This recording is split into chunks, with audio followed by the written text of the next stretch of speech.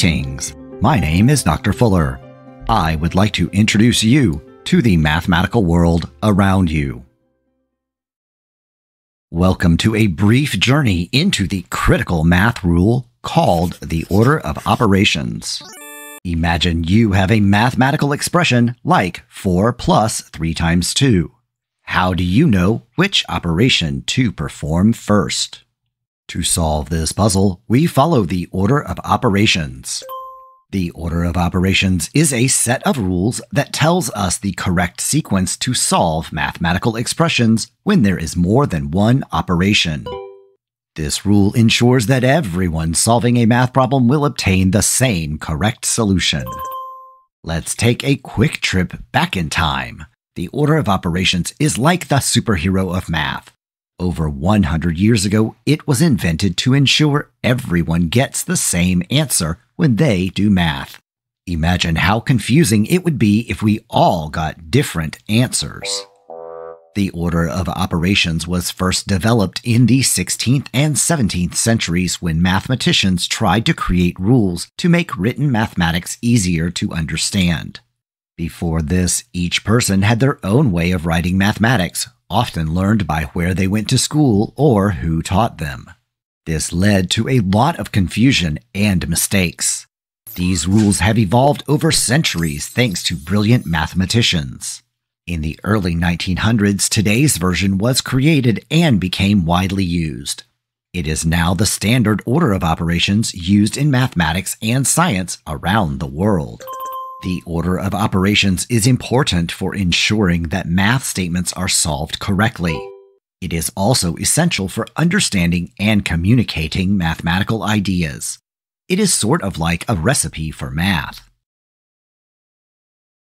The acronym GEMDAS stands for grouping symbols, exponents, multiplication, division, addition, and subtraction. This is the order in which we perform operations within an expression. First, we tackle what's inside parentheses, the grouping symbols. So, in 4 times 3 plus 5, we first add inside the parentheses to get 4 times 8. Next, we deal with exponents. If you have something like 5 plus 2 raised to the third power, you first calculate 2 to the power of 3, which is 8. This expression simplifies to 5 plus 8. After grouping symbols and exponents, we move on to multiplication and division, working from left to right. In 4 plus 6 divided by 2 times 5, we perform the division first to get 4 plus 3 times 5. Finally, we deal with addition and subtraction, also working from left to right. In 4 minus 3 plus 1, we subtract 3 from 4 first to get 1, and then add 1 and 1 to get the final answer, which is 2.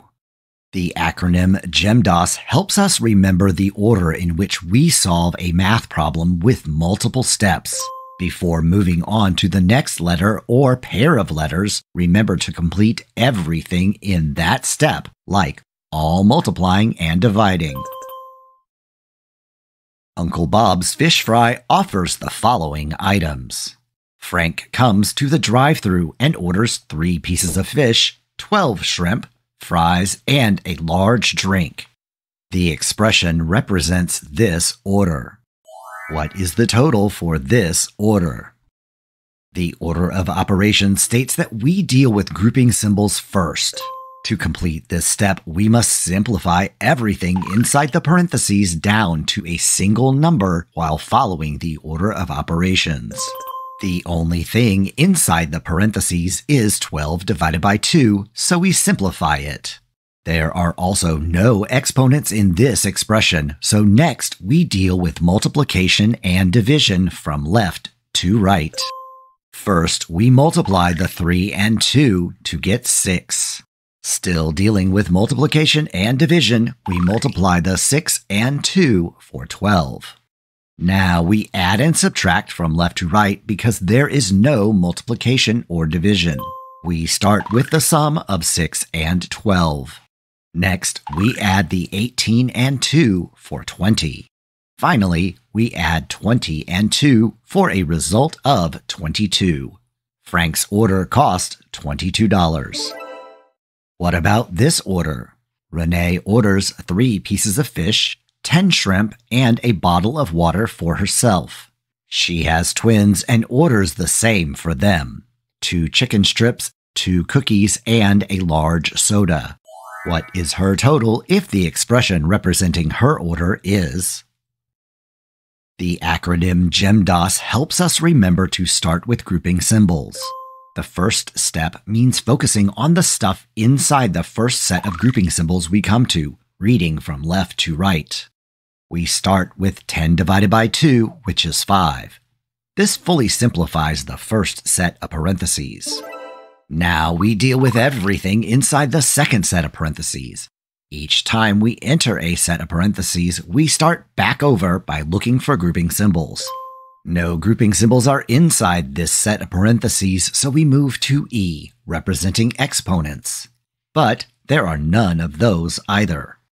Now we move to multiplication and division from left to right. Therefore, we take care of the multiplication of 2 by 3. Next, still working inside the parentheses, we multiply the 2 and 1. There is no more multiplication or division inside the parentheses, so we move to the last operations, addition and subtraction. Add the 6 and 2 to get 8. And finally, add the 8 and 2. This completes all of the operations inside the parentheses. Now that everything is handled inside the parentheses, we look for exponents.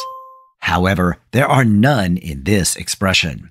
Next, we look for multiplication and division from left to right. We start with the 3 and 2. Multiplying these gives 6. Our next multiplication is with the 5 and 2 for a product of 10. Our last multiplication is the 2 and 10, whose product is 20. Once the multiplication and division are finished, we move to the last step of addition and subtraction from left to right. Adding 6 and 10 gives 16. Then we add the 16 and 1. Finally, we add the 17 and 20 to get 37. Therefore, Renee's order will cost $37. In my mathematical world, I have one little problem. I'm helping raise money for a charity by working the drive through at Uncle Bob's Fish Fry. Help me calculate the amount of each order. Heather orders fries, two pieces of fish, a cookie, and a large soda for herself and four friends. The expression representing her order is five times the quantity 2 plus 2 times 2 plus 1 plus 2.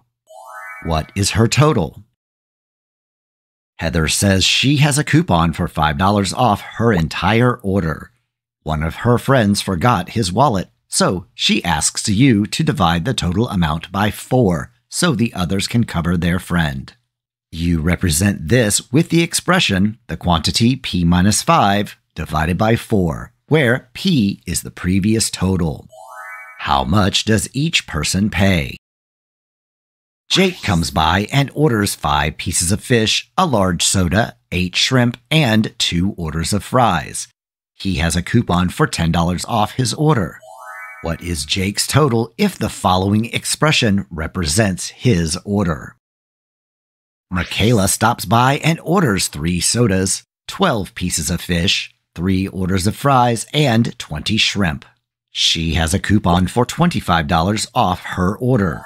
What is her total if the following expression represents her order? Christine orders lunch for her and two friends, each order being the same two pieces of fish, a bottle of water, two chicken strips, and a cookie. She has a coupon for $15 off the total order. How much does each person pay when represented by this expression? Claudia orders two of the same meals five pieces of fish, two cookies, two bottles of water, and 10 shrimp. She has a special coupon that takes $5 off if she spends $20 or more. $10 off if she spends $30 or more, and $15 off if she spends $40 or more. What is her total bill? Max orders 20 pieces of fish and 12 pieces of chicken.